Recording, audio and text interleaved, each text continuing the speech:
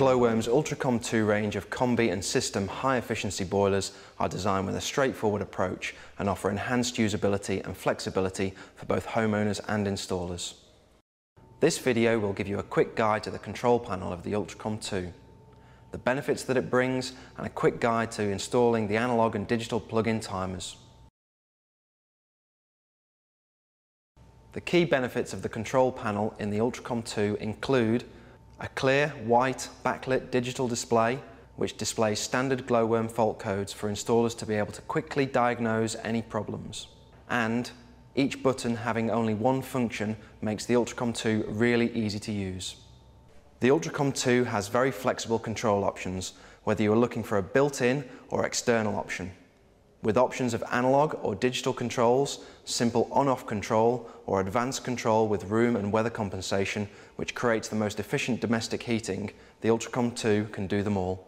The combi boilers have the option for an analog plug-in timer for the most simple time control, or a plug-in digital timer that will enable you to control the time and temperature programs on the boiler. The system models have the option of a plug-in digital timer for heating and hot water, again to control time and temperature from the front of the boiler. Alternatively, all Ultracom 2 models can be fitted with the complete range of Glow-worm intelligent external controls. The latest in this range is the ClimaPro 2 RF, a really simple to use wireless programmable control that delivers exceptional heating control and flexibility of programming around even the most demanding of busy lifestyles. The ClimaPro 2 RF can achieve room compensation when installed with just the boiler, and room and weather compensation when it is installed with a wireless outdoor weather sensor. Room and weather compensation makes a heating system significantly more efficient, saving both carbon and money. If we now take off the front cover of the Ultracom 2 and open up the electronics box, you can see how easy it is to install the plug-in timers and the other key features of the control box.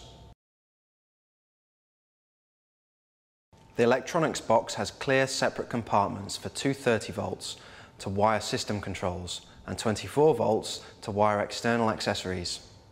All the electrical connections on the Ultracom 2 are one-way fit, meaning that there is only one possible way that the connections can be fitted together so you know that it is right every time. If you are installing a ClimaPro 2 RF with the Ultracom 2, the wireless receiver for the control simply plugs onto the top of the control box so no complicated wiring needed. To install an analog clock, you simply remove the blanking plate and then use the existing wiring harness supplied with the boiler and plug the connector into the back of the timer. Then secure the spacer, then mount the timer along with a bezel. To install a digital clock, remove the existing wiring harness and plug the digital connector into the PCB on the boiler. Then fit the rubber grommet into the timer aperture, connect it to the back of the timer and secure in place along with the bezel. Altogether, the control panel of the Ultracom 2 provides the installer with clear and flexible methods of wiring ancillary components, commissioning and servicing the Ultracom 2, whilst for homeowners, it's easy to understand and looks attractive when installed in the home. For more information on the Ultracom 2 range of combi and system boilers which are available now, check out our website for further technical videos on www.glow-worm.co.uk.